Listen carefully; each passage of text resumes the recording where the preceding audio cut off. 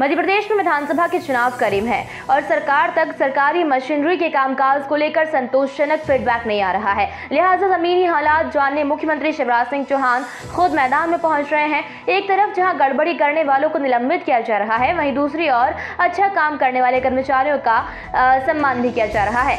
कुल मिलाकर मुख्यमंत्री चौहान का अंदाज बदला हुआ है। मुख्यमंत्री चौहान ने बीते दो दिनों में कई स्थानों को का जो है दौरा कर जमीनी नब्ज को टटोला है। हालात बेहतर मिली तो कर्मचारियों को सम्मानित किया और जहाँ गड़बड़ी दिखी, ये शिकायत आई तो उन अधिकारियों को दंडित करने से भी नहीं चुके। मुख्यमंत्री चौहान भी शनिवार को भी डिंडौरी ज़िले के शहपुरा विकास खंड में बिलगांव मध्यम सिंचाई परियोजना का औचक निरीक्षण कर ग्रामीणों और किसानों से मुलाकात उन्होंने की।